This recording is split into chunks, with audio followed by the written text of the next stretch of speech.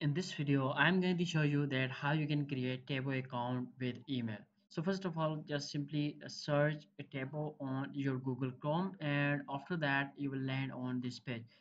Uh, once you are on this page, just click on this very first link and you will land on this page. Over here you can see that everything is translated into English or in your native language but in case if it is not you need to click on this translate this page button.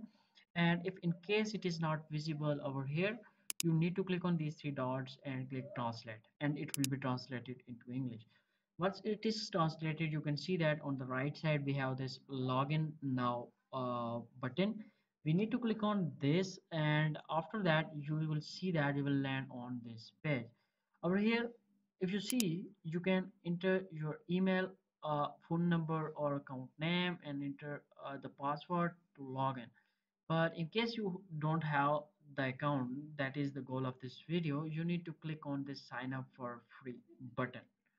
And once you click on that you will land over here.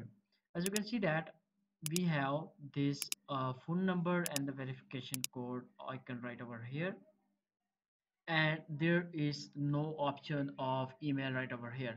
But if you just scroll down and see this option of switch to corporate account registration you need to click on this and you will land on this page.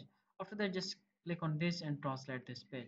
Over here you can see that we need to provide the account name we need to provide the email address right over here and the phone number and the password if you look closely the phone number is mandatory. It means that without phone number you cannot create the account on uh, this page. So you need to create the account uh, with phone number. Although you can provide the email and once you provide the email over here you would be able to log in to your account with email. But if you want to sign up you need to provide the phone number. So i hope that this video now has cleared your concept or your in big that you need to have a phone number.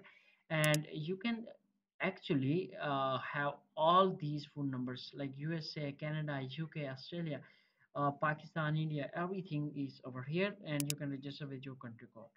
So i hope that this video was helpful and if it is please consider subscribing to the channel. Thank you